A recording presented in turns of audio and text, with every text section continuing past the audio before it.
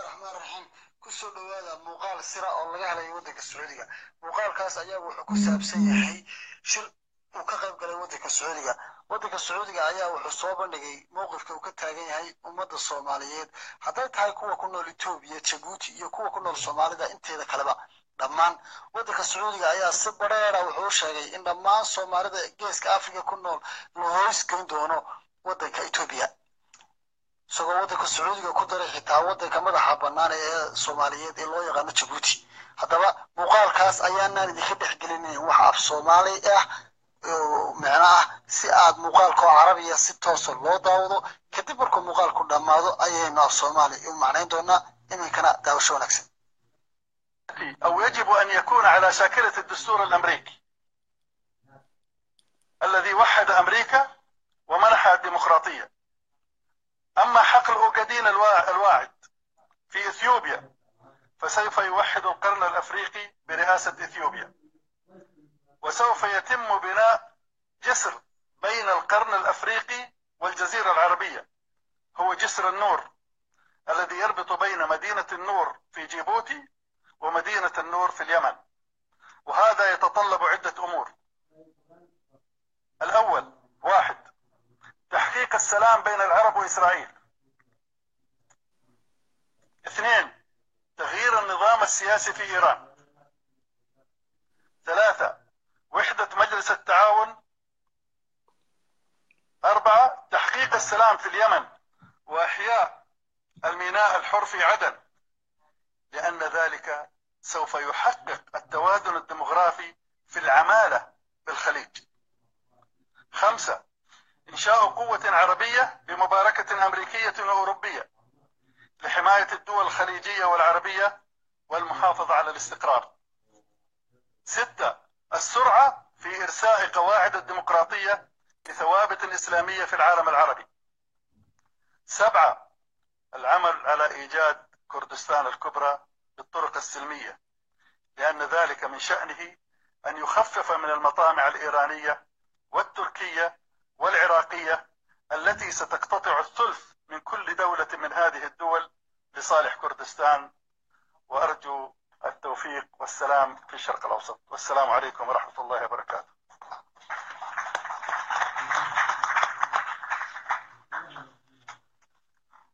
Thank you, General.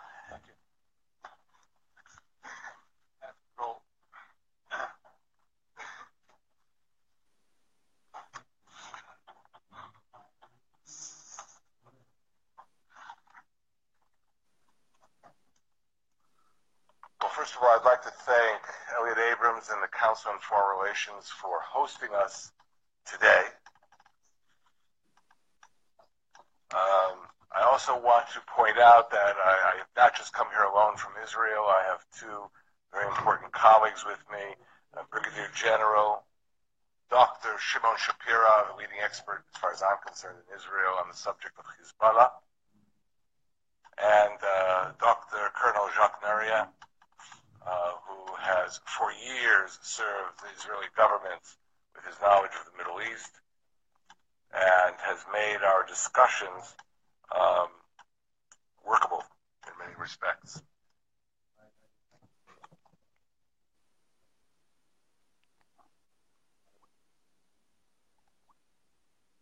yar naga raali ahaado dabcan insha allahu tacaala barnaamijkan hore u sii geli doonaa haddii ilaahay nagu simo kolley wuxuu ahaa waxaa inoo faahfaahin doona oo inala joogo aqoon-yahan aadan jaamac kaahin bal horta aqoon-yahan ku soo dhawow waxaan jeclaan bal inaad barnaamijka xoogaa horta waad dhegeysanaysa mamna clipka aynu soo dhignay. Faragelinta maxaa soomaaliya loogu samaynayaa bal inaad xoogaa dadka u sharaxdid aniga iyo dhegeystayaasha kalaama daawadayaasha halkan naga daawanaya arsenal waa maadsan tahay intaanan cajaladda u sharaxin dadka wixii uu lahaa laga hadlayay imika markii lagu qabtay shirkaasi conferenceka dalka maraykanka oo ay ka soo qayb galeen anwar cishbi oo ahaa isagu nin generaal waaxiska ama sirdoonka maraykanka ingiriis dowladda sacuudi arabiya madax ka ahaa. Kuna jira waxa u yaqaanaan council of foreign affairska ama dadka khubaraha badanaaba dowladaha waaweyn ama dowladaha kaleba waxay sameeyaan. Raggii ka soo shaqeeyey ama baaxiska ama ka shaqeeyey doonka ama ka shaqeeyey arrimaha dowladda waxa loo waxaa loo magacaabaa inuu ka noqdo la taliye dhinaca arrimaha dibadda. Marka intaan taas gelin ka hor oo aanan maclin ka hor. Waxaan dadka horta u sheegayaa sida ood ku aragteen maqaalka aad ku aragteen mawduucaba. Mawduuc ku saabsan yahay faragelinta shisheeye ee dalka soomaaliya. Marka faragelinta shisheeye ee dalka soomaaliya waxaan kala qaadanaa saddex qaybood. Qaybta koowaad waxa weeyaan faragelintii ay hore ugu hayeen dowladaha yurubiyanka iyo maraykanka soomaaliya oo aan marnaba jeclayn soomaaliya inay noqoto dowlad dadkooda iyo dadkeeda ay isku noqdaan dad isu tegey oo mar walba ay ka shaqaynayeen dadkaasi ay maaragtay ay kala jarjaraan si aanay quud u yeelan. Waxaad la socotaan dalka kenya in wax lagu daro maahan aan waxba laga jirin dhulkooda. Ethiopia wax lagu daro maahan dhulka loo yaqaan abasinia loo yaqaano tigreega iyo xamaarada iska lahaan jireen in wax lagu daro maahan aan waxba laga jirin. Marka dalka keliya ee la dhibaateeyey ee dhibkaan loo geystay ala jarjaro waxaa keliya soomaaliya taana waxaad noo imanaysaa sida maalinta horadii sharxayayba hadal hore uu sheegay george carson kun iyo sagaal boqol iyo ilaa kun iyo iyo koo labaatankii ninkaasoo ahaa wasiirka arrimaha dibadda ee dalka ingiriiska oo isagu sheegay beri hore markii uu ka hadlayo luqadda ingiriiska hore u sheegayba wuxuu uhi we must put an end to anything which brings about any islamic unity between the sons of the muslims as you have already succeeded in finishing of the of the caliphate. So we must ensure that there will be never arise again unity for the muslims whether it be intellectual or cultural unity. Macnaha wuxuu yidhi wasiirka khaarijiga ee ingiriiska loo yaqaano george ilaa ayuu ahaa wasiirka khaarijiga hore loo sheegay waxa uu yidhi haddaanu dowladda ingiriiska nahay marnaba ma doonino isu tag ama unity ka dhex dhaca dowladaha islaamka ah. Sidii ay hore dhacday baa khalaafidii ka dhacay berigii dowladaha carabta. Macnaa dhib badan bay noo keenan annaga haddaan nahay dowladaha yurubanka sidaas darteed waan ka taxadaraynaa waxaan isku dayaynaa dowlad kastoo islaama inaan qaybino.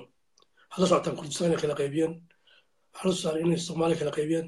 Waxaad socotaan in bakistan iyo xataa indiya iyo lakala qaybiyey dowlad dadkii islaamka kala deganaa waxaasoo dhan waxa markaa quwaddii islaamka in la xaqo.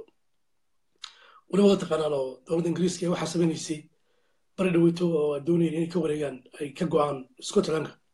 Waxa ay samaynaya maqlayseen oo ay ka hadlayeen idaacadaha wax walba oo lahayn waxay dadku qiimo ku leeyihiin. Markay walaaloobaan isu tagaan kala go'a iyo cuquuqubka faa'iidona ma laha waxaan kula talinaa walaalaha scotland inaan dalka ingiriiska go'in. Marka iyaga laftoodu waxay doonayaan dhulkooda inuu dhul isku yaalla laakiin dhulkii soomaaliya waxay jecel inay saa u kala jiraan qaybta labaad kalena waxa weeyaan waa qaybtan kale ee dhulkan ay qaadatay kenya ee la siiyey kun iyo sagaal boqol saddex lixdankii iyo ethiopia oo marna la siiyey qaybtii koowaad la siiyey kun iyo sagaal boqol iyo la siiyey koob iyo afartankii dhulkan loo yaqaano soomaaliya ogaaden agreementkooduna ama heshiiskooda la seexa kun iyo siddeed boqol iyo iyo iyo iyo shan iyo afar iyo siddeetankii qaybtii kalena waa qaybtii kale ahayd kun iyo sagaal boqol iyo afar iyo kontonkii markii la bixiyey. Dhulkan loo yaqaano hawdka ay ku jiraan gaashaamo iyo dhagax bur iyo irjiye ilaa meelahaas marka labadaas qaybood horta waa labada cadow aan hore ognahay oo cadowna waa cadowgii ingiriiska iyo faransiiska iyo yurubiyanka weliba faransiiska aad la socotaan inuu jabuuti markiisa hore qaatay. Hadda waxaa ku soo kordhay labada cadow inagoo hore weyn oo soomaaliya labada cadow ay ka tageen ethiopia kenya gaar ahaayeen yurubiyankiina ay hoos fadhiyaan oo mar walba ay riixayeen oo iyaga ay quudanayeen haddana waxaa soo kordhay cadow cusub oo dowladaha maaragtay islaamka ah runtii dowladaha carabta ah. Runtii aad iyo aad wax loo xumaadaa. Waxaad markaa dhegeysanayseen kuwaasoo ay ugu horeeyaan saad arkaysaanba dowladda imaaraadka iyo iyo siduu ninkani sheegayba dowladda sacuudiga. Iyo arrimo badan oo aan sheegi doono oo waxay ku kalifaya waxaasi ay iyaguna ay soo hoosgeli doonaan aad iyo aad baad umahadsan tahay aqoon-yahaan jaamac kain dabcan in yar waxay dadkuna inaga codsanayaan. Kolle xaggayga waan ka dallacay xitaa telefoonka waan ka dallacay foliumkiisa adoo naga raaliya inaad xaggaad foliumka telefoonkan aad in yar yara dallacatid ama aad codka kor noogu yara qaadid. Taa waa si guud baad noogu guud martay horta cadaawadda soomaaliya ee dhibaatada lagu hayo. Marka bal su'aasheeda koowaad waxay tahay oo ajenduuna caawa ku saabsan yahay. Maxaa soomaaliya faragelinta loogu samaynaya cabdisalaano soomaaliya waxaa faragelinta lagu sameynaya waxa weeye horta qaybta koowaade waa marka hore oo saan markii hore u sheegayba dowladahan yurubiyanka aanay marnaba jeclaysan in dowlad soomaalida quwad ay la helo. Taas waa ka dambeysay dagaalkii beriga uu galay axmed gurey berigii hore qarniyo hore ka oo ku jabiyey dowladdii loo yaqaanay abasinia oo beriga loo yaqaanay abasinia oo kale ahayd maxaa ladaa tigreega iyo xamaarada oo loo yaqaanay abasinia jabitaanka beriga jabiyey ayaa markaa waxay keentay markaa inay mar walba iyagu caawiyaan oo ay dowlad tagaynaadaan. Oo marnaba aan dowlad soomaaliyeed oo adag leelin ta kale meesha taalla dowladahan imika soo koray carabta mataleeto khaliijka ah waan la soconay taarikhda waa taarikh hore hore u dhacday. Had wax cusub maaha. Kun iyo sagaal boqol iyo toban tobaatankii markii dowladda soomaaliya ay jebisay maxaa la dhahaa dowladda etoobiya jebisay dadkii ay isku hadleynayeen waxaa dowladaha carabta barigaasi oo ay ka hadleen inay dee iyagu ay caawiyaan oo ay garab taagnaadeen marka beriga waxaa soo baxayay jallaafo badan oo dowladaha carabta beriga ka iminaysay in markii dowladda soomaaliya dagaalka gashay aan sidii la doonaya loo caawin oo aan lagaga siibtay ayagoo markaa qaarba hadallo gaara ku hadlayaan. Yamantuna ay la safartay etoobiya ay lafteedu waxaaba yarata mucaawino oo badan oo laga helay oo aanay jirin meeshii ay maraykanka iyo ruushka iyo dowladihii kala dhamay ay etoobiya caawinayeen. Waqtigaa kun iyo sagaal boqol iyo tobaatankii inta ka dambeysay iyo qoryaha u dhexaysayba waxaa jiray markaa shirkado baara baaritaan badan ku waday soomaaliya oo dhinaca batroolka. Ah marka shirkadahaasi batroolka ah ee baarigii soomaaliya markaasi waxaa soo baxaya hadallo badan oo odhanaya dowladaha khaliijku raalli kama aha in soomaaliya u soo baxo batrool. Oo markaa aan hore ugu arkaynay in badan soo dhacayay oo marba loogu yeedhayay dowladaha khaliijku lala kulmayey oo carqaladayn ay ku hayeen marka dowladahaas sababtuna ay ahayd soomaaliya meesha ku taalla waa meel very good istraatiijiya istraatiiji aad wanaagsana marka istraatiijigaasa markaasi isaga ah wuxuu markaa sababay in magaranaysaay haddii hadhow ay soomaaliya batrool ka hesho oo loo arkay inuu yahay batrool ku teelsan badda iyo iyo dhulka labadaba jira iyo meesha ku taallo ah meel istraatiijiya oo ah bad dheer oo ilaa kun saddex kun iyo saddex boqol oo kilomitr ah. Isla markaana afka ku haysta meesha loo yaqaan baamandeb ee marinka laga galo badda badda cas marka geli laga baxayo dhinacan suwiskiland haddii hadhow ay soomaaliya ku guulaysato inay batrool ka hesho oo ay dhaqaalo badan yeelato hadhow in markaa laga kaaftoomi doono dowlad badan oo markaa soo saari jira batroolka iyaguna ay ka dhow yihiin oo istraatiiji ahaanna ay baddii caseed iyo baddii ooshankiiba haystaan. Saasay markaa iyagu ay ugu dagaalamayeen mar walba takalabada ay ku jirta meesha waxa weeye waxaan la soconnaa in dowladda khaasatan imaaraadka loo sheegay muddo aduu ilaa ku siman kolle waqti hadda iga maqayahay ma hubo. Ma boqol sana ma laba boqol sana ayaa loo sheegay in waqtiga markay gaadhaan batroolkooda uu dhammaan doono. Marka imaaraadku waxay aad iyo aad markaa iminka ay xoog lugta u saarayaan oo ayaga ay meelaha kalaga horreeyaan oo ay xoog faragelinta soomaaliya ugu wadaan waxa weeyaan waxay og yihiin in garanaysaay haddii ay soomaaliya waddan degan noqoto oo dowlad fiican ay hesho oo la soo baxdo batroolkeeda iyo waxeeda waddankuna waa waddan dowlo istaabila hadhow inay adkaanayso macnaha imaaraadku sida baaxmisariga ay helaan ay heli doonaan oo soomaaliya markaa baaxmisari geeska africa ay la wareegi doonto. Hadhow hadda batrool qodatana laga yaabaa inay hadhow baaxmisari badan kala wareegto. Ta meesha ku jirta waxa weeyaan imaaraadka waxaa arkeen oo kale oo aad ugu qayliyeen dowladda turkiga. Waa dowladda turkiga waxay u arkeen inay tahay dowlad soomaaliya u caawinaysa si daacadnimo ah oo quwad fiican u abuuraysa macnaha militariga soomaaliya xoogna saaraysa inay soo celiso ciidamadii militariga soomaaliya. Marka haddii ciidamadii militariga soomaaliya dib u soo noqdaanna marka waxay noqonaya waddankii waddan stable oo isku filan oo aan cidna u baahnayn oo markaa siyaasadihiisii wixiisii wadi karaa midda kale faragelintan hadda xoogga la soconaysaa marka loo eega sidii xasan sheekh xasan sheekh dowladdii cumar cabdirashiid iyo xasan sheekh ay gacanta ku hayeen faragelin may ahayn kuwaas laakiin waxay ahayd un dad loo yeedhinayo waxay doonayaan oo marka imaaraadku ugu amarka siin jiray uu oran jiray ama sacuudi arabiya ay oran jireen matalan waxaan u baahanay intaasoo gabdhood oo shaqaala noo keena yes seer dabeedna loo geyn jiray dekada ibrahim doonayna cumar cabdirashiid ama xasan sheekh noo seex yes seer waanu seexaynaa marka markay arkeen maxamed cabdullahi farmaajo inuu yahay nin isku kalsoon inuu yahay madaxweyne daacada inuu yahay nin ka fog macnaha isamarinta ama nin laaluushi karo. Marka waxay noqotay marka inay xoog saaraan inay faragelintoosa ku sameeyaan sababta waxaa arkayaan dowladdan inay noqonayso dowlad transparent ah oo aan corruption iyo musuqmaasuq ku lahayn ciidamadiina dhisanaysaa.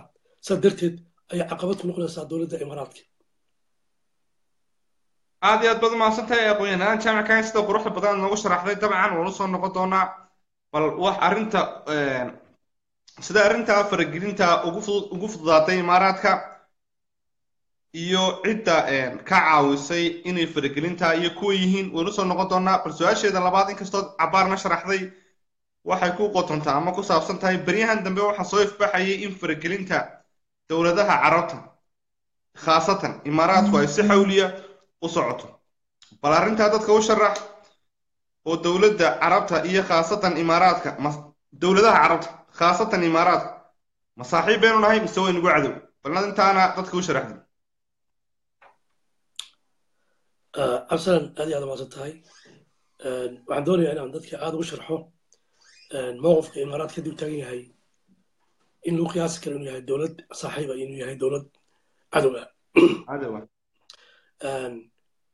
waxaan la soconnaa berigii hore taariikhyan soddon ama afar sannadood ka hor imaaraadka berigii hore ama kunta sannadood ka horba inay dowlad fakri ahayd oo aan dhaqaalo lahayn waqtigaas soomaaliya way caawin jirtay ama asikaha ku caawiso ama dad badan ka soo qaxay waddankooda oo muqdisho iyo marka iyo meelaha degan oo soomaalida beriga inay yihiin dad caraba laakiin qaarkood ay imaaraad ahaayeen oo soo qaxayn oo meesha deganaayen marka waxaad arkaysaa in waqtiyada noocaas ah hore ay soomaalidu ama da shacbiga soomaalidu dowladaha carabta ee baahan si daacadnimo walaalnimo ay u caawin jireen.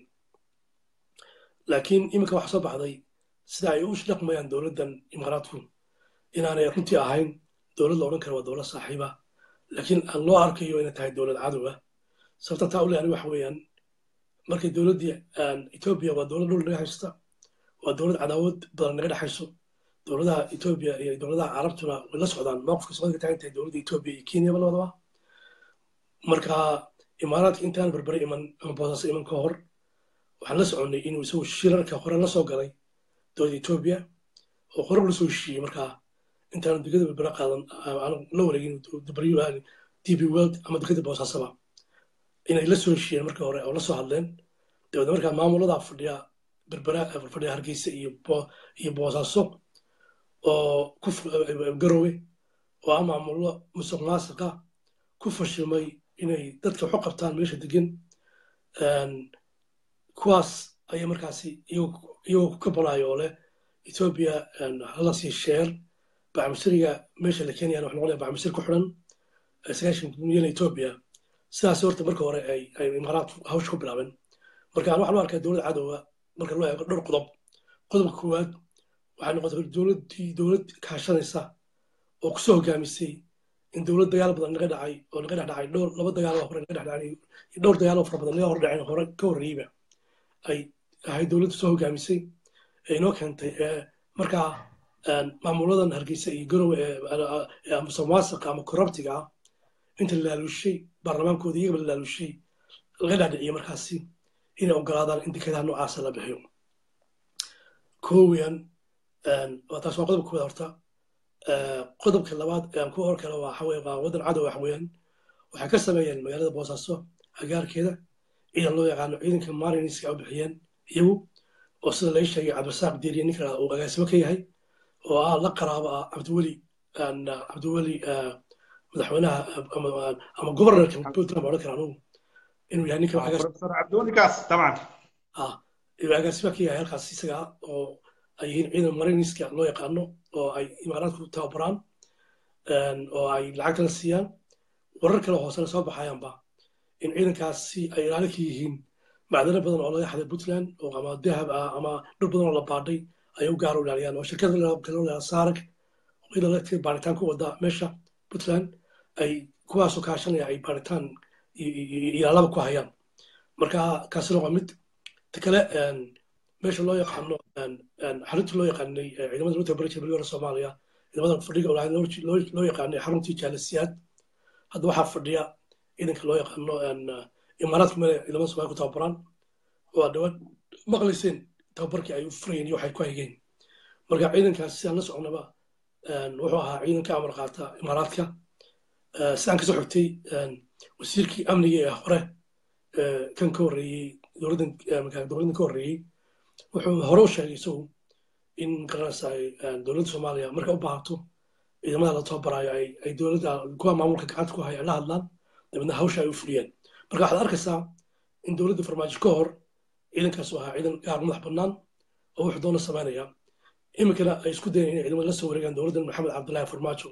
Laakiin weli faragelintii ay gacanta ku hayaan waa nimanka dhaqaalay siiyaan lacag bay siiyaan ma garanaysaa marka anugu waxaasoo marka soo dego waxaasoo la eegaba waxaan arkaa markaas in ciidanka sidaa u dhaqmayaan iminka waqtigan xaadirka ah.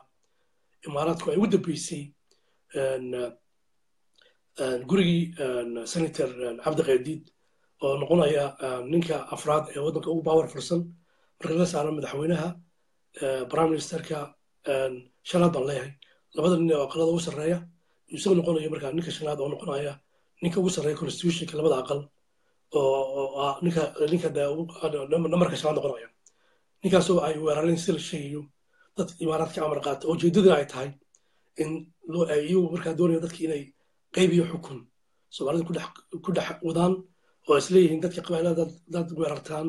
Markaasi dowladdii bay weeqi kartaa ama hadhow dad baa xalaaqeeya hab beeleed ahaan bay u soo galeen meesha iyo kicin dadweyne marka waxaasoo dhan markaad qodobo eegto cabdisalaano waxaan oran karaa sidan u dhaqmayso dowladda imaaraadku ay tahay dowlad runtii cadowa aad iyo aad baad umahadsan tahay waxaad ku soo ururiseen dabcan imaaraadka lama odhan karo waa dowlad saaxiiba waxaa la odhan karaa waa dowlad cadowa weliba ku darso waxaad ka tagtay waad ka hadashay boosaaso iyo shirqolada ay ka wadaan magaalada muqdisho dabcan oo ugu dambeysay senator cabdi oo gurigiisa ay ku weerareen iyagoo doonaya inay bulshada soomaalida madaxa isu geliyaan waxaa intaa dheer berbera dekeda berbera oynu ognahay iyadana inay xitaa amxaaro ay percentage ka siiyeen.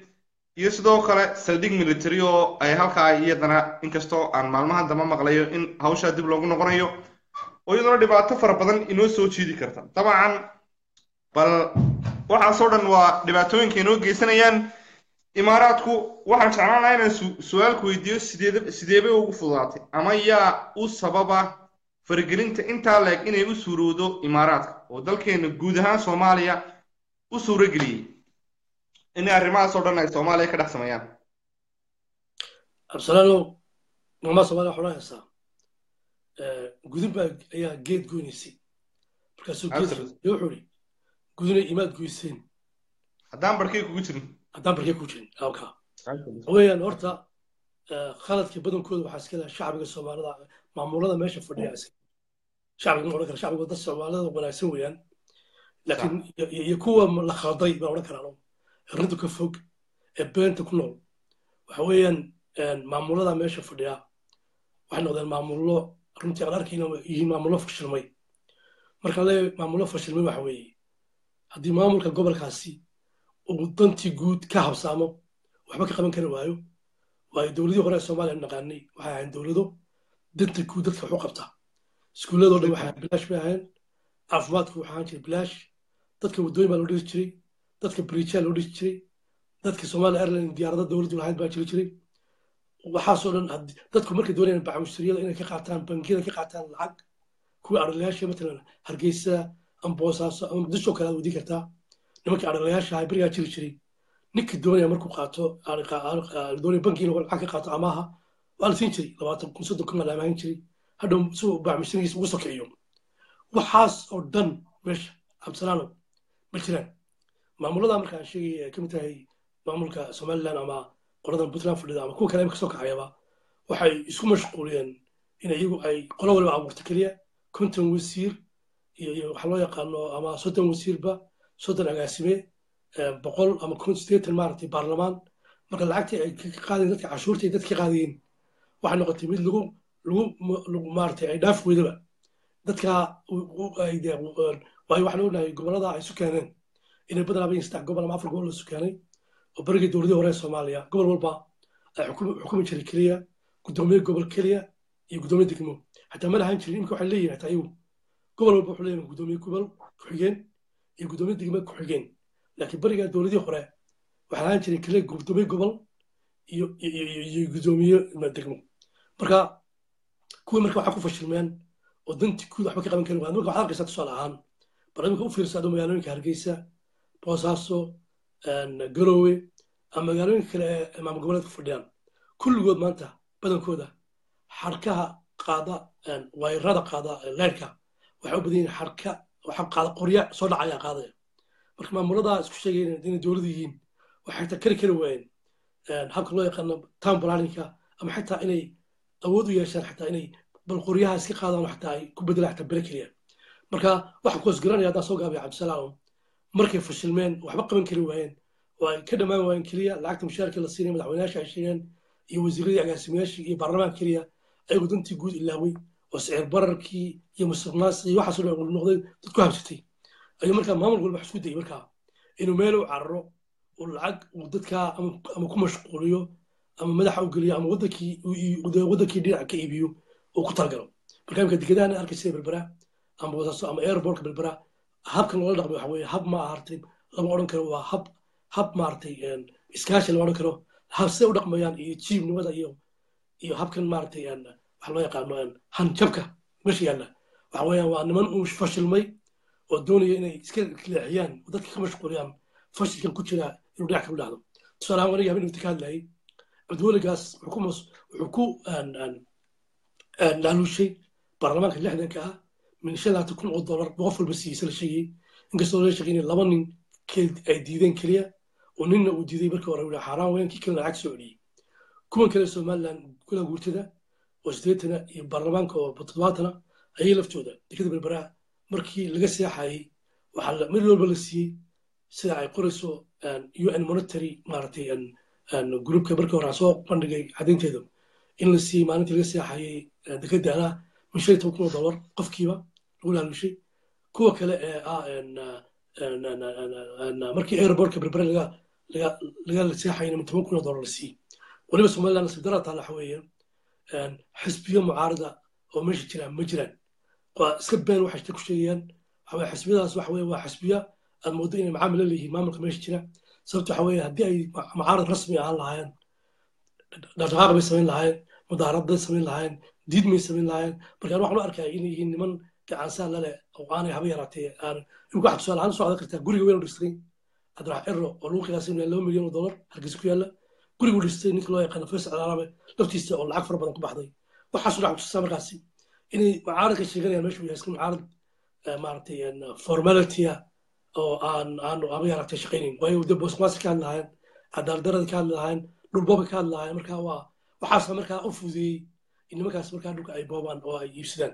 Markii dambe ku fiday koonfurta soomaaliya sidaad maqasheen ba ama xaafa noqdo ama kuwa kala noqdo. Markaa iyaga laftooda maamul goboladii ay haysteen maamul kari waaye inay marka xaggaa u yeedhaan lacag baa la siin lahaa kale. Aad iyo aad baad umahadsantahay aqoon-yahaan jaamac kayn waxaad ku soo gebagabaysay nuxurku wuxun buu noqonayaa un wa imaaraadka iyo faragelintiisa wuxuun baa u sababa maamuladan horarka noqday ee soomaaliya ka jira. Hadday tahay maamulka somaliland maamulka puntland iyo shakhsiyaad kale oo soomaali oo siyaasiyiin oo hayb kastaba leh. Oo dabcan iyaguna aan danta guud iyo danta qaranka midnaba aan ka fikerayn ayaad ku soo ururisay. Oo waxaa ka mid a haddaan dul istaagno de waaba runba maamulka somaliland ama somalilandba. Haddii mucaarid jiro anuguba waxaan qabaa nin mucaarida oo mucaarid dibaddaa jooga ama faysal ha noqdo ama cabdiraxmaan ciro ha noqdo bangal filooyin looma dhisi lahayn. Halkaa waxaad ka dareemaysaa markaa inay qeyb ka yihiin musuq iyo corruptionka iyo dhibaatada meesha ka socota. Oy qeyb ka yihiin waayo mucaaridka waxaa la doonayey in wixii hantida guud boobaya ama musuq maasuqa guud ay meel uga soo wada jeestaan oo ay ka dagaalamaan oo ka hadlaan balse iminka saad aduguba sheegtay iyagii baa qeybka waxana waa formality. Dad dadkunbaa sawir khaldan picture khaldan basi haye. Cabdisalaam waxaan ku dar lahaa ka ilaaway waxaa kaloo jira dad kale oo laftooda dhibaato ku haya dowladda dhexe ee soomaaliya. Waan horor sheegnay. Uu ka mid yahay ninkii loo yaqaanay cumar cabdirashiid. Cumar cabdirashiid anigii maalinta hore ka hadlaynay isaga iyo iyo iyo cabdiraxmaan cabdishakuur waa raggii hore badda hore seexay kenya u seexay. Welibana markii dambena cumar cabdirashiid maalinta hore u sheegayba waa ninka dekedahan u fudeeyey inay imaaraad ku qaataan ee seexay markuu primisterka ahaa isaga iyo weliba xasan sheekh oo markaa madaxweyne ahaa labadaba way soo galeen dembiga. Haddana waxaa jira qaar badan oo oo ayagu abuureen. Labadaa nin horta iminka u fudeeyey oo imaaraadku xataa inay muqdisho ay lug ku yeeshaan aad ugu fudeeyey goladaba iminkana dad kalaa jira iyaga laftooda dabagale oo raacsan. Kuwaasna waxay ka mid yihiin aan sheegayo inay iyaguna yihiin dadka imaaraadka laftooda. Aad moodo inay jaajuisu yihiin oo ay la shaqeeyaan aad baad u mahadsantahay aqoon-yahaan jaamac kahin mar labaad iyo mar saddexaadba allah ku raamaya allah ku sharfo dabcan su'aasha haddaan u soo noqdo su'aalahayga qayb ka mid a su'aasha afraad waxay noqonaysaa waa maxay sababta ay maamul goboleedyadu u xulufaysanayaan imaaraadka? Waa maxay danta ugu jirta inay xulufaystaan imaaraadka? Iyagoo dabcan ka cararaya saad sheegaysid qarannimadii guud iyo soomaalinimadii faa'iidaday ka helayaan faa'iidada ugu jirtaa waa maxay inay xulufaystaan imaaraadka? Arsenal horta waxa weeye ragga maamul goboleedka haysta horta rag aqoon leh ma aha oo maamul iyo maareyn garanaya maaha waad garanaysaa ninka loo yaqaano haddaad soo qaato imika axmedoobe aqoontiisu intuu laagta waad garanaysaa nin aqoon le maaha. Ninka laha shariifku nin aqoon le maaha. Xaaf waad garanaysaa dee backgroundkiisa nin haba yaraatee aqoon le maaha.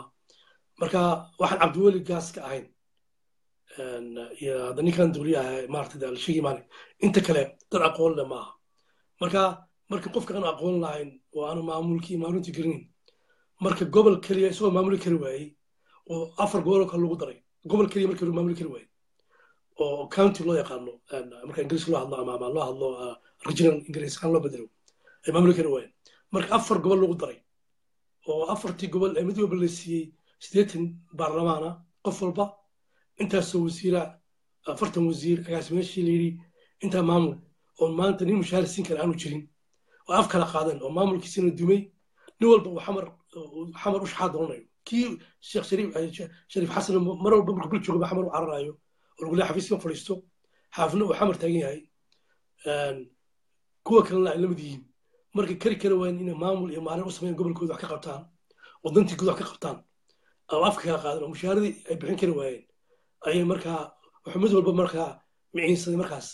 Isagoo markaa cabdiweli ninka la cabdiweli uu yahay ninka uga aqoonta badan maamul goboleedada oo ahaa ninka arrimahan ka dambeeyey oo markii hore soo arkay meesha u sheekeeyey inuu yahay inuu igu yidhi inuu kala dhaciyey nimanka noocaasa inay xagga la tagaan iyagoo lacag doonto isaga iyo cumar cabdirashiidba marka kuwaas waxaan u arkaa inay marka maamuladu wadi kari waayeen way keliya u carari karaan uu yahay inay lacag badan ka soo qaataan oo si ay meesha u fadhiyaan wada ay u musafaan oo sababta ka dambaysana ay tahay lacagtaa la siinaya ay tahay marka in lagaga qaato deked ama in lagaga qaato maamulka ama ama lagaga qaato maaragtay meel meelo badan oo laga samaysto beero. Hab noocaas oo kale ayaa ayagana maamul ay imaaraadka doonaysa inay ka qaataan. Beero badan dhul badan beeraha ka qaataan ama dekeda ay qaataan sida matalan baraawe ama hubiyo meelahaas oo kale ah iyo dhul beeraadku ay ka qaataan ay ku bedishaan sidaasa markaa kahoos galanaysa kuwaas markaa ay u cararaan. Iyo qodobka labaad oo ah ninka loo yaqaana bailey oo ah wasiir run ahaantii aad iyo aad u shaqeeyey oo ah wasiir transparenta oo sidaa maqlay ku soo rogay maamul goboleedad wax loo yaqaan xisaabta oo kuli lacagtii intaan meesha fadhin aanu siinay hore xisaab cilmidaan soo celin. Nimankana waxay ahayd niman iska fadhiya berigii hore meesha lacagta iska cunaa markii lacagta xisaab cilmka soo celin waayeenna oo ay nin walba dee lacagtii cunu ku ciyaaray. In markaa ay noqotay markaa in meel kale carar helaan ay qiiqa isku qariyaan intaba. Labadaa labadaa ku shiriyo ayaa koosgareya markaas inay xagga ay cararaan maartay waad mahadsan tahay. Waxaa koosgareeyay baad tidhi inay la xulufo la noqdaan imaaraadka dabcan aqoon darro iyo iyagoo ku guulaysan waaya inay xitaa ciidamadoodii dabcan ay mushaar siiyaan ama ay wax qabsadaanba. Aqoontana uu ugu sarreeyo sidan wada ognahay kolley qof kastaba. Dee ma aha inayn meel kaga dhacno cabdi ninka la yahdo cabdiweli gaas professor cabdiweli gaas uu xagga aqoonta iyo ninkan isaguna wax badan kolley de arrimaha siyaasadda shaqa kuma laha laakiin baylod baa la yidhaahdaa baylodna arrimaha diyaaradaha wax noocaas oo ninka la yahda iminka de meesha xukuma hargeysa muuse bixi nimankaa kaloo dhan saad sheegtay waa niman aan aqoon badan oo ku filan oo arrimaha siyaasadda aan shaqa kulahayn hadduu axmed madoobe yahay iyo hadduu xaafiya iyo hadduu yahay shariif sakiinba waxaana ugu tugtuguroon oo professor cabdiweli gaas isagaana meesha u soo sahmiyey baad okay waad mahadsan tahay su'aasha haddaan u soo noqdo su'aalahayga mid ka mid a maxaa dowladda kala gudboon tallaabada ay ka qaadanayso faragelinta imaaraadka? Maxaase tallaabo sidee bay tahay inay dowladdu qaado maxaase kala gudboon inay arrimaha ay wax ka qabato dowladda federaalka ee soomaaliya? Absalaanow dadkii dacwana wax loo sheegayaa. Dad badan oo soomaaliyeed shacbiyad badan baa cadhaysan ku doodii oo bacdama imaaraadka uu faragelin badan ugu sameeyey? Oo dekedahayagii qaatay oo airbortkii berbera qaatay oo haddana magaalada muqdisho dhibaato badan ku hayo dadka badankooda waxay leeyihiin hal la eriyo oo dowladda imaaraadka hal eriyo laakiin arrintu saa noqon mayso cabdisalaano waayo arrinta marka laga hadlay diblomaasiyada laga hadlay taa way ka duwan tahay. Maxamed cabdullahi farmaajo ama prime ministerkuna arrimaha dad la socda oo og weeyaan.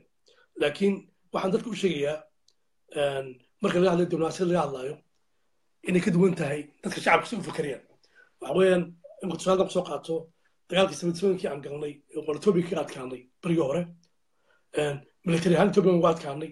Laakiin siyaasad ahaan ayaa dowladda militariga markaasi waxay toddoba casho ku eriday ruushkii markaa fadhiyey soomaaliya.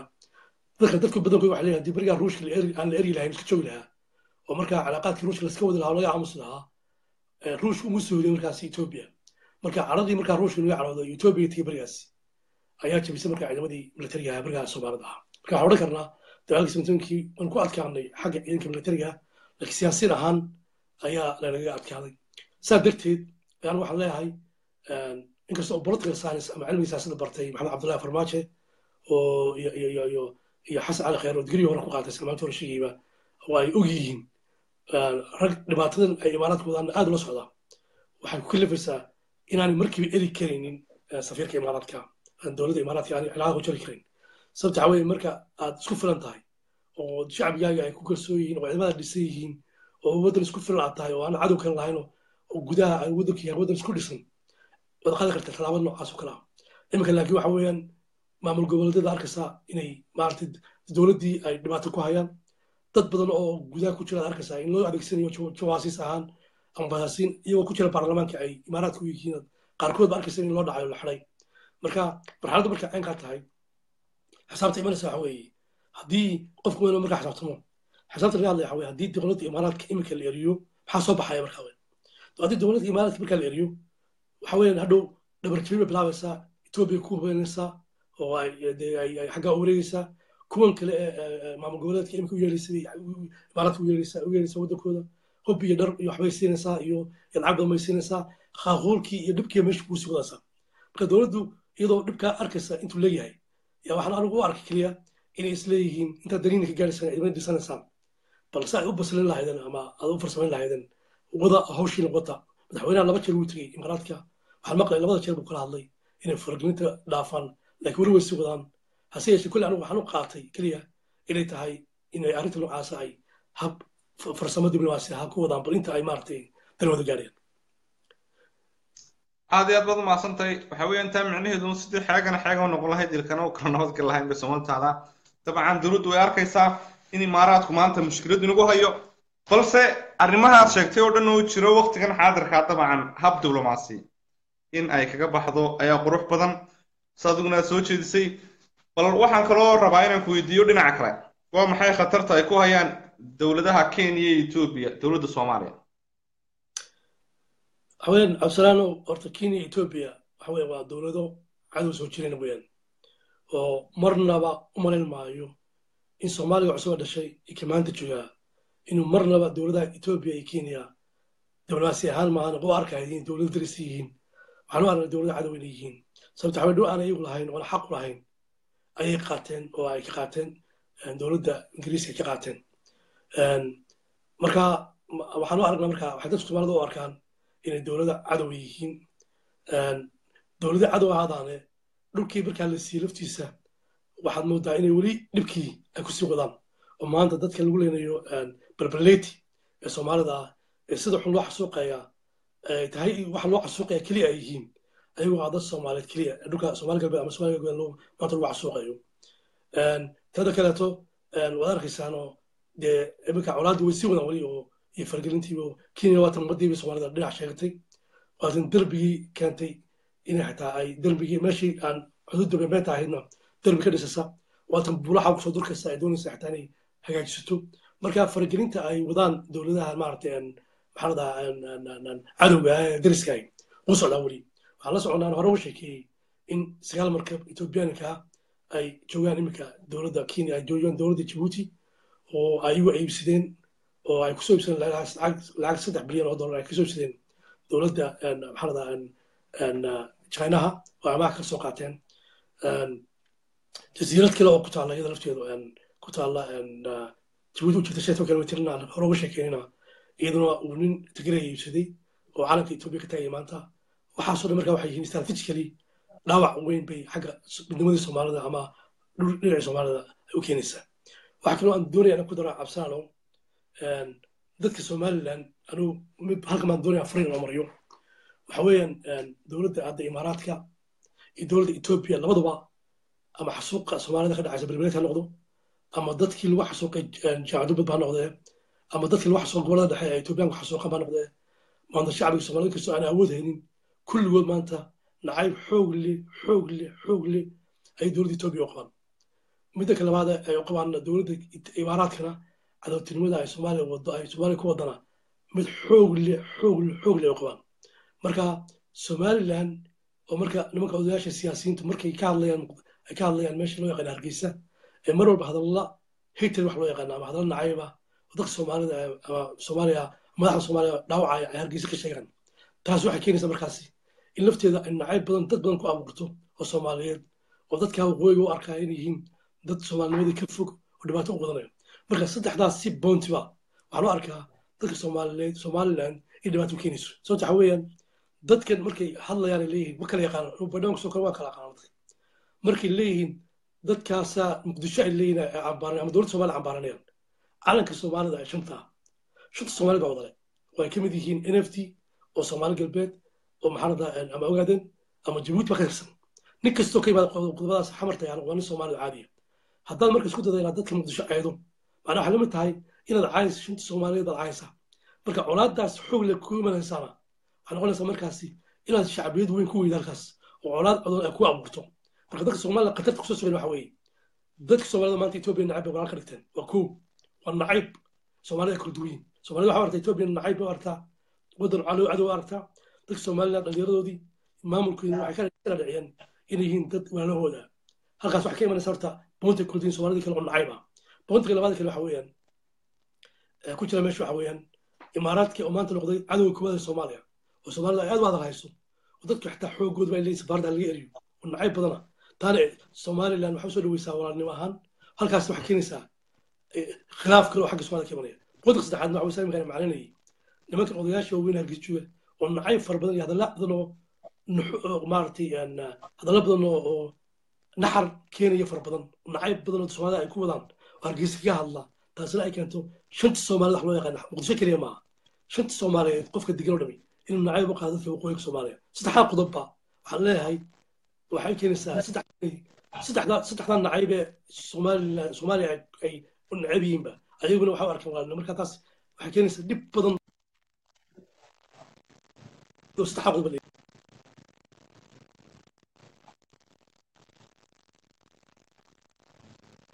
Oo qodob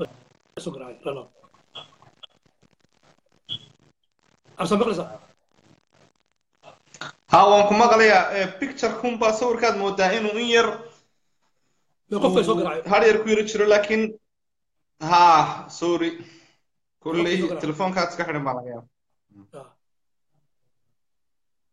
halkaa inooga sii wad aadan dhib mala waa ku maqlayna marka waxaan leeyahay dadka somaliland ama dadka degan somaliland walahi waxaan leeyahay arrimaha nimanka odayaasha waaweyn ay ku hadlayaan ama nacaybka ay abuurayaan waxaa loo baahaya inaad aad uga taxadirtaan sababta cawis soomaali meel kala tegi mayso. Xataa dagaalkii dhacay berigii hore ee ka dhacay salamta ka dhex dhacayay lama jebin kareen dowladdii hore militariga soomaaliya. Haddaanay ciidamo badan oo soomaalida oo ku jira ciidamadii militari ka dagaalamayay waqooyiga soomaaliya berigaasi aanay gacasi lahayn salamta oo ka baxay dagaalka berigaas ama u caawinaya inay yihiin dadkani dad dhibaato lagu hayo oo ka baxa meesha. Saa darteed waxaan leeyahay mar walba waxaad u baahan gulaaliina soomaalida ka hashataan nacaybkan faraha badan lagu beeray meel gaarsiinin ethoobiyan laka dhigay walaalnimada iyo imaaraadkan walaalada laka dhigay labadaba dhib bay qodob kale aan dadka u sheegay waxa weeye dadka ay u baahan inay ka fakeraan waliba khaasatan soomaaliya marka laga hadlayo. Waxa weye maalin dhaweyto nin wasiire qaarjiye sheeganaya iyo inan nin dhalinyaro oo lahaa waxaan ahay safiirka u fadhiya maalin dhaweyd imaaraadka. Hadalladii ku hadlayay hadalla nin weyn ku hadli karaya maaha waxaa lagu yiri xuutiyiintii waa soo tuuraysa maxaa radaa kantaal. Oo xuutiyiintu aan ognahay inay ku tuureen kantaal. Meesha loo yaqaano riyaad iyo iyo idweyba hadalladii ku hadlaya waad maqlaysana malaya annagu barnaamij waxbaan ka bedelaynaa agreementka laakiin joojin mayno. Macnaha waxa weeyaan dhiiggii dadka ee dhacayay ama kantaal soo tuuraya ee ku soo dhacaya meesha niman ka danqanaya maba ahaba sida hadlayaan waxaan maqlaya iyagoo le ma joojinayno oo agreementkaas ku soconaya oo soconaya ku doodayay marka waxa weye nimanka niman dadka u danqanaya maaha maalin waan daawanayo tvga loo yaqaano star t v. Kusoo daaya waa daawata malanaya magaalada berbera dadku waxay sheegayeen badankoodu inaanay markii laga qaada interview dhowaan bay ahayd weekend isla weekend. Inaanay doonaynin in saldhigaasi uu ka jiro meesha waa doon dhibaato dooni maayaan meesha inay ka helaan marka waxaasoo dhan waxaa u baahantay in dadka somaliland ay arrimaha noocaas aad uga firsaan aad iyo aad baad umahadsan tahay aqoon-yahanaadan jaamac kaahin kulley aniguna waan ka damqaday sida ummadoo dhan uga damqatay oo wuxuu ahaa nin aan waayo arag iyo experience midnaba aanu lahayn oo kulley de iska hadlay unbu ahaa. Waxbaanu bedelaynaa dabcan waa ninka yare la yidhaahdo basha morgan. Adigu waxaa u taqaanaa safiirka imaaraadka u taqaanaa aniguna waxaan u aqaanaa nin yaro uu silaayo meesha keenay dabcan oo silaayo uu sodog u yahay. Bal waxaan jeclaan lahaa waa maxay tala bixintaad aad siin la arrimaha lagaga hortagi karo annaga iyo bulshada soomaaliyeedba aadna siin lahayd. Marka hore intaan intaas u gelin cabsalaalo waxaan ka ilowna markii hore. Inaan ka hadalno cajiladii madhowtaan soo saaraynay ahayd ninkii ka hadlayay oo la yidhaahdo anwar kashki ninkaas wuxuu ahaa nin generaal ah oo shaqeeya maxaa ladaa loo yaqaano amniga ama mabaaxiska sida sacuudi u yaqaanaan sacuudi arabiya. Markii dan ku biiray waxaa loo yaqaana council of foreign affaireska uu leeyahay ama guddiga arrimaha khaarijiga ee leeyahay sacuudi arabiya ninkaas markaasi haddii aan dib u noqdo wuxuu ka qayb galay shir lagu qabtay maraykanka oo markaa ay yuhuudda ka soo qayb gashay. Saa arkayo. Ninkaasi saddex qodob buu ka hadlay oo aad dadka aan doonaya inaan u bidhaamay oo muhiim ah oo runaantii qofka soomaaliya markuu daawado cajaladaas ama la macneeyaba uu aad iyo aad u xumaanayo. Qodob koowaad wuxuu ihi soomaaliya iyo jibuuti waa in lagu daro dalka etoobiya oo markaa maamulka etoobiya labadaba uu la wareego marka qodobkaasi runtii wuxuu noqonayaa qodob aad aad runtii qof kaloo soomaaliya ka naxo waxaanu arkaynay si life ah isagoo hadlaaya oo marna carabi ku hadlaya marna nin soomaaliya macnanayo taasi waxay tahay markaa dhabarjab weyn oo runtii ay ninkaasi u geystay shacbiga soomaalida oo u haystay inay dad wanaanahooda yihiin dowladaha carabta runtii. Taasina ay u baahantay dadka soomaalidu markay cajalada daawadaan inay wax weyn ka bedeli doonto aragtidii markii hore ay ku qabeen. Sababta waxa weeyaan waxaan hore ula socday in dadka soomaalidu ahayn dad mar walba qadiyada falastiin xoog u taageera laakiin aynaanu arki jirin now in dowladaha carabta aan ku soo dhiirinin inay taageeraan qadiyadan dhulka soomaalida ee maqan ee soomaali galbeed ama soomaali ogaden ama dhulkan n f d aanay ahayn mar laba dad ka hadla ama ka danqada. Taas markaa waxay baahantay marka dadka soomaalidu inay ogaadaan mowqifka markaa dowladda carabta ay ka taagan yihiin dadka soomaalida. Qodobka labaad oo ka hadlay haddii cajalada aan macnayno wuxuu ahaa israa'iil iyo iyo iyo maaragtay iyo iyo iyo sacuudi arabiya ayuu ku taliyey markaa inay cilaaqaad samaystaan oo ay maaragtay heshiis gaar galaan. Qodobka saddexaadna ee arrintaasi ka hadlaysa waxay ahayd in la bedelo siyaasadda iiraan oo isagu arkayo inay tahay maaragtay siyaasad khaldan oo khatar ku ah dowladaha khaliijka. Qodobka kale afraadna wuxuu yidhi siyaasadda annagu waxa weeye in la xoojiyo unitiga ama isutagga ama quwadda dowladaha khaliijka ay leeyihiin. Oo ah dowladahan loo yaqaano cumaan maxaa ladaa imaaraadka qatar waxaasoo dhan ka hadlayso. Qodobka islaadna wuxuu ahaa yaman in laga dhigo nabadgelyada yaman aad ugu dadaalo. Way beriga wax ka soconayay mudaharaaday wax ka soconayay cali cabdalla salax beriga waa haystay bay ahayd. Marka halkaana wuxuu yidhi marka waxaan ugu baahannahay yamanta lafteeda in laga sameeyo bridge weyn oo loo yaqaano jusra nuur carabka loo eego oo u dhexeeya magaalada loo yaqaano jibuuti iyo isku xidhaya cadan oo aan bacmushtarii dowladda khaliijka afrika halkaa ugu wareejino siduu u sheegay isuguna balankiisu inagoo dowladda etoobiya u marayna oo etoobiya ay la wareegto markaa jibuuti iyo soomaaliya siduu sheegay hadal ku sheegay. Qodobka shanaadna wuxuu yidhi waa in la dhiso dowladda caraba oo ilaaliya danaha dowladda carabta leeyihiin khaliijka iyo badda casba. Qodobka lixaad markaa isagu wuxuu yidhi waa in kurdistaan la mideeyo. Kurdistaan markaa waxaa kala haysta dowladda kurdistaan waxaa qaybiyey ingiriiska qaybiyey qayb waxaa haysta dowladda syria qayb waxaa haysta dowladda turkiya dhulka haysta qayb waxaa ka haysta ciraaq qaybna waxaa ka haysta iran. Marka isagu wuxuu leeyahay waa in kuwaa laisu keeno dowladda maraykanka ay ka shaqeeyaan si laisu keeni lahaa isagu ujeedo kale waxa weye si ugu xumeeyo markaasi iran iyo turkiya ugu xumeeyo ayuu taa ujeeda markaas. Marka arrimahaasoo dhan markaas waa waa arrimo kaga soo horjeedo in ku yareeyo quwadda ay leeyihiin maxaa loo yaqaano turkiga iyo iiraanta waxaa kaloo ognahay labada kun iyo shan tobankii isla waqtigaa markii shirku dhacay kabacdi in dowladda carabtu ay- dowladda sacuudigu ay ay shirkaasi ay ay maaragtay martiqaad u fidisay dowladahan maaragtay ay ka mid yihiin etoobiya soomaaliya eritrea waxaasoo dhan ay isugu tageen markaa riyaad ay ka hadlayeen sidii loo hagaajin lahaa nabadgelyada badda cas.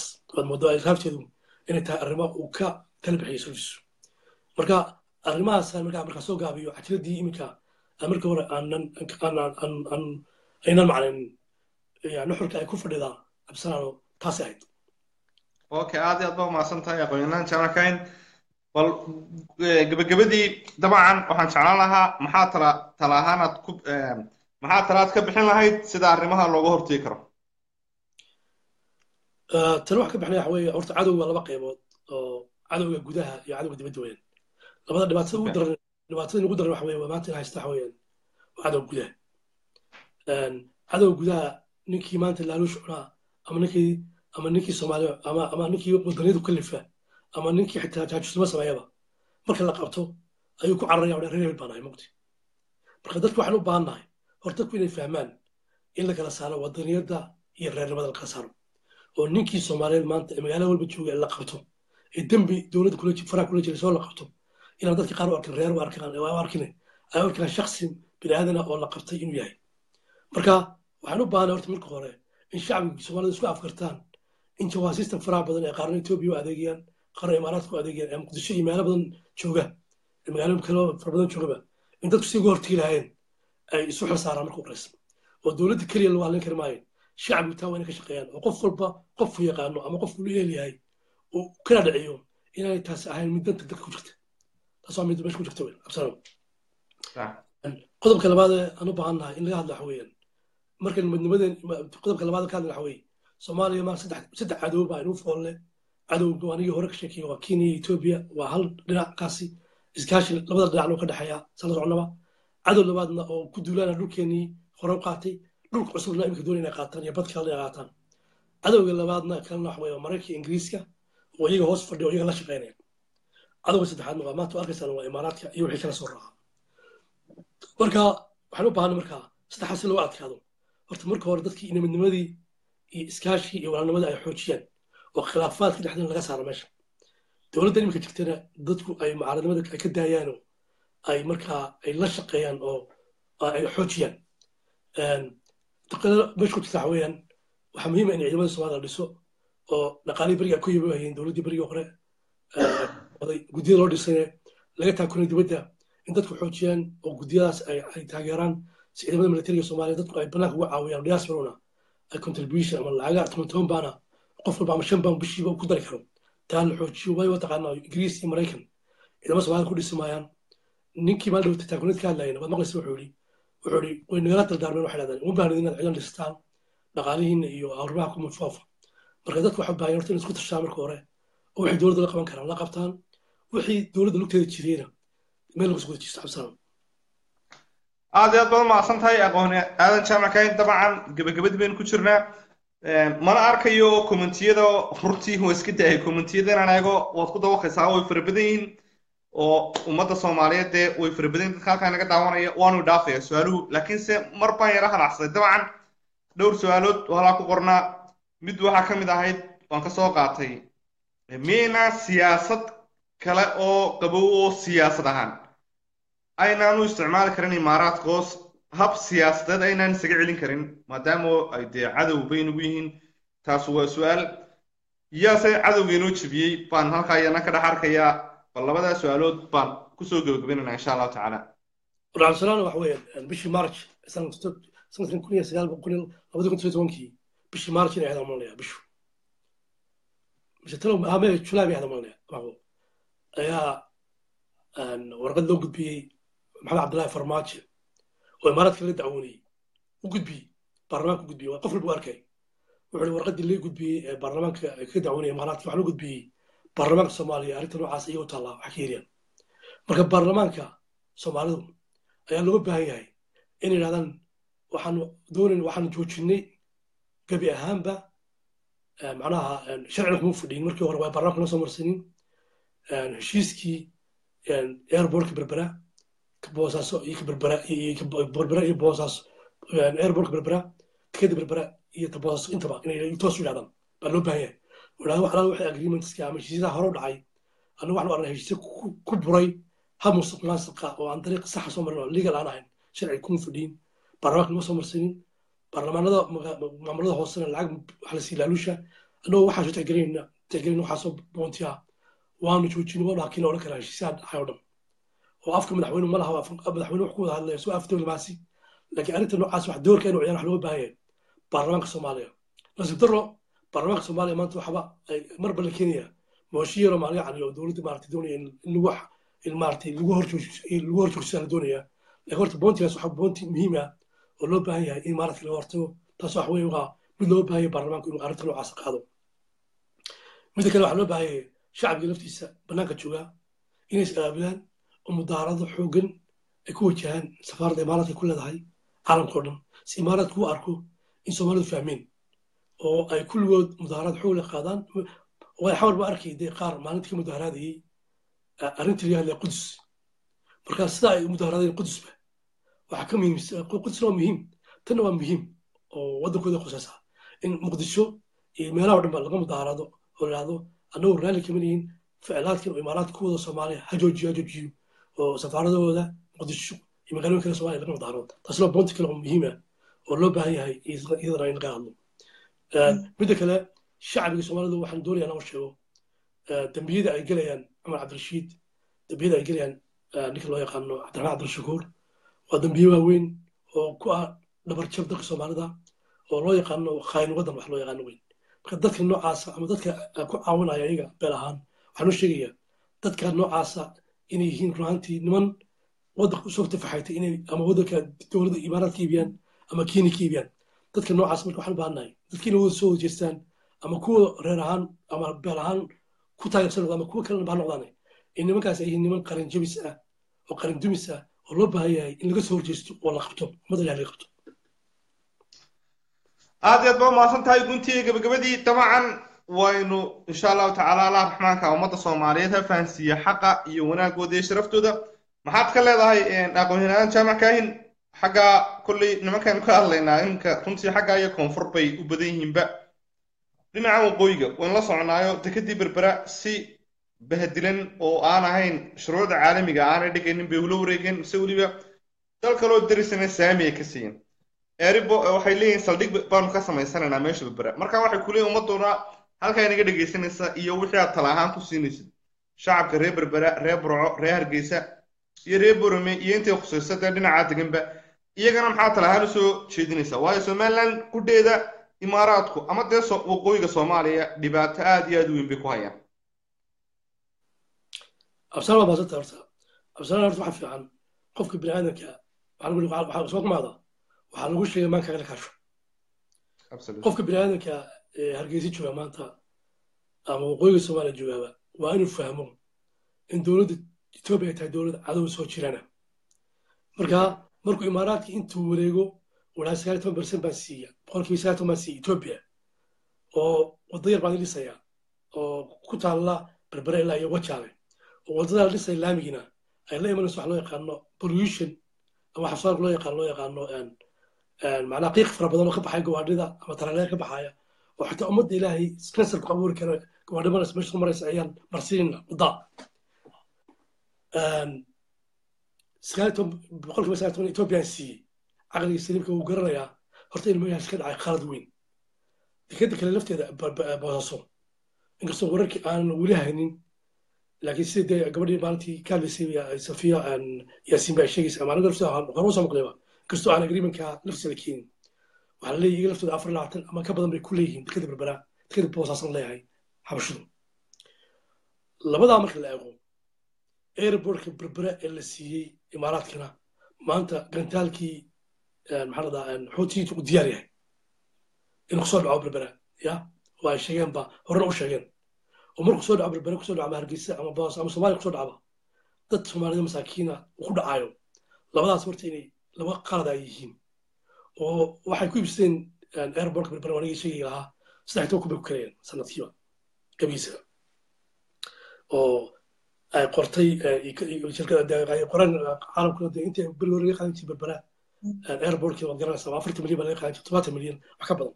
Saddex toban milyan oo dollar ay sanadkiiba ka kareeyeen maxarada oo ah macnaha cheap waa lacag aad aad u jaban weyn intay ku kareeyeen soo garamaysa dhiiggaas marka lacagtaa jabanba ayay markaa weliba doonayaan inay ku adkaystaan ku hadlaa weliba.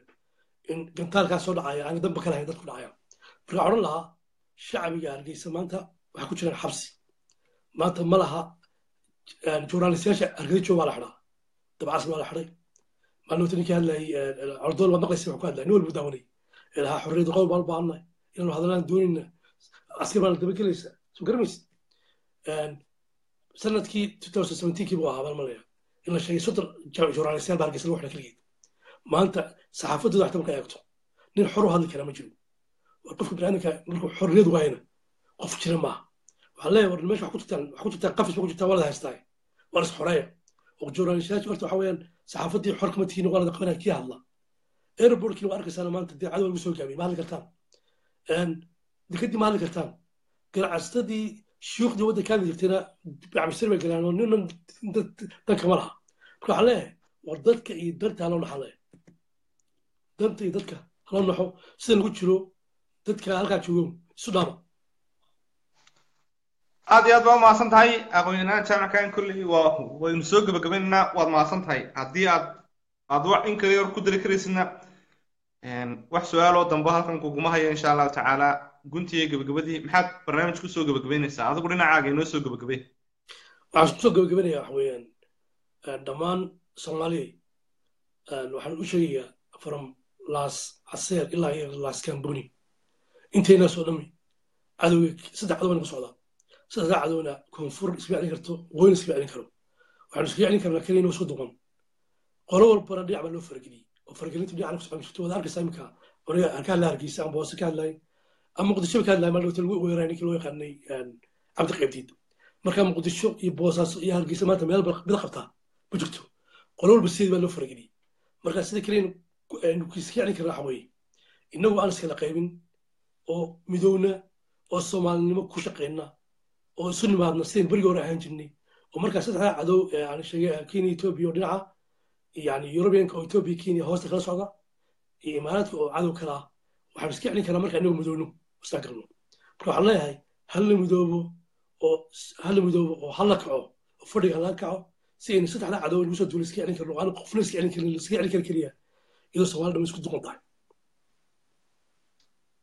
Waad mahadsan tahay allah ya baarik allah aad iyo aad baan kuu salaamayaa kaas wuxuu ahaa aqoon-yahan aadan jaamac kaahin oo ka faallooda arrimaha geeska dabcan. Barnaamijyo fara badan soo diyaariya oo ka mid yihiin barnaamij ka baxa t v-ga calson t v oo lagu magacaabo barnaamijkana dhabka hadal isaga iyo koox kaloo fara badan oo ka mid yahay faysal abrone aad iyo aad baan idin salaamayaa bulshada soomaaliyeed. Aniguna dabcan waa cabsanaan gentleman. Barnaamijkana waxaa inoo soo diyaariyey aqoon-yahan aadan jaamac kaahin aniguna halkan idinka soo jeedinayey. Aad iyo aad baan u salaamayaa. Meelaha ku sugantihiinba dhammaan bahda midnimo qaran iyo wadaniinta kale soomaaliyeed.